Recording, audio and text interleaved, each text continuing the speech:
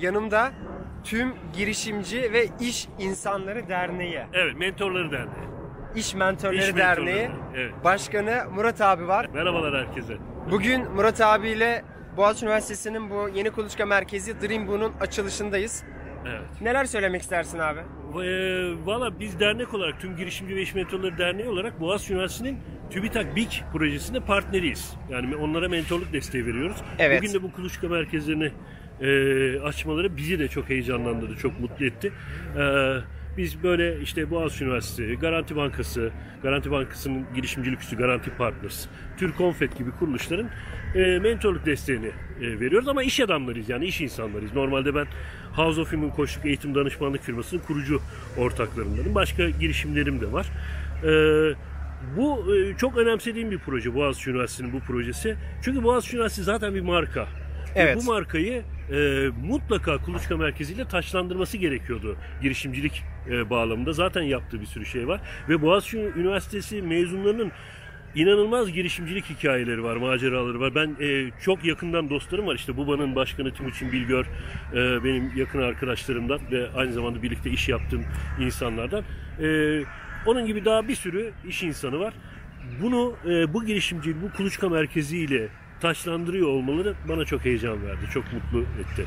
İhtiyaç vardı. Şimdi son zamanlarda benim dikkatimi çeken şeylerden bir tanesi de Boğaziçi Üniversitesi'nin girişimcilik konusunda e, bir atağa geçmesi. Evet. Yani geçtiğimiz haftalarda Buba Mansiyon Club, bu yatırımcı evet. kulübü e, Evet. açıldı. Evet doğru. Şimdi bir kuluçka açılışı yapılıyor Doğru, ve doğru. aldığım duyumlara göre 2-3 kuluçka merkezi daha açılacağı söyleniyor Evet, doğru. İstanbul'un çeşitli yerlerinde. Doğru. Peki bununla ilgili ne söyleyebilirsin? Yani Boğaziçi Üniversitesi'nin bu geçtiği atakla ilgili neler söyleyebilirsin abi? Ya bu atak e, sonu Allah kısmet ederse yani hani her şey iste, istendiği gibi giderse, her şey yolunda giderse ki ben de hem House of Human olarak hem e, TÜGİM olarak e, yani derneğimiz olarak bu projelerde farklı farklı roller üstleniyoruz.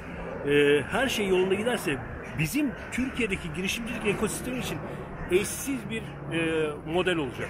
Böyle bir model yok. Yani e, İçinde işte yatırımcılarla buluşma alanları var, içinde eğitim var, içinde mentorluk var, içinde bir sürü fiziksel merkez var. Evet. Ee, ve girişimci tabiri caizse Merdivenlere fabrikaya- dikkat. Tamam. Fabrikaya girecek girişimci.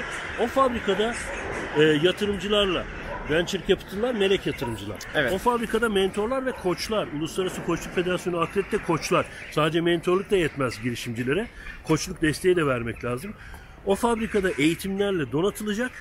Ondan sonra ve e, daha bir sürü imkanlar Hilmi. İnşallah seninle beraber zaten bu imkanları şimdilik sır vermeyelim sağa sola. Ondan sonra başka bir sürü hikayemiz var. Videoyu kapatınca ben bu sırların hepsini alırım tabii şimdi. tabii tabii. O sırlar sende inşallah. Ee, ve girişimcinin e, alınıp ta exit'e kadar geç- ge- geçeceği e, yolculukta hiç onları bırakmadan yol arkadaşı olacak. Eşsiz bir ekosistem kuruluyor. Ya ben 2019'un gerçekten hani bunu laf olsun diye söylemiyorum veya motive olsun diye de Evet. söylemiyorum ama 2018'den çok daha iyi geçeceğine inanıyorum. Ben de inanıyorum. Çok yürekten inanıyorum. Ee, umudum çok yüksek.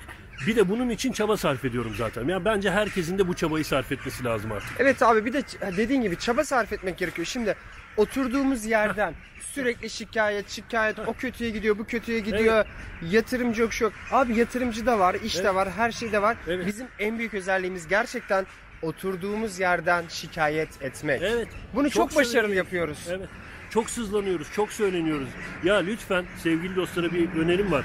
İmkansızı düşünüp mümkünden vazgeçmeyin. Mümkün olan neyse onu yapmaya odaklanalım. İmkansız düşünüp niye mümkünden vazgeçiyoruz ki?